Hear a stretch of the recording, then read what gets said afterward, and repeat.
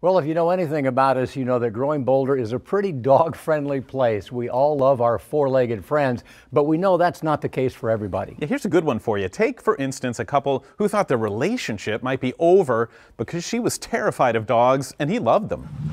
Anthony would lock the dogs away when Monisha visited and had no idea where their relationship was headed until one day they visited a shelter together.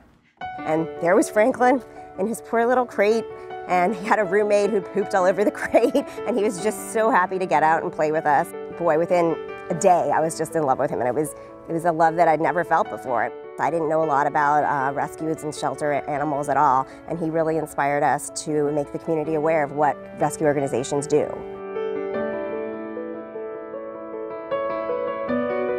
In honor of their dog Franklin, the couple formed a nonprofit group called Franklin's Friends in 2003, raising about $500 that first year. Since then, though, the group has raised more than $900,000 for local animal rescue, helping to fund everything from vans to transport shelter animals to pet adoption events to life saving surgeries for injured animals.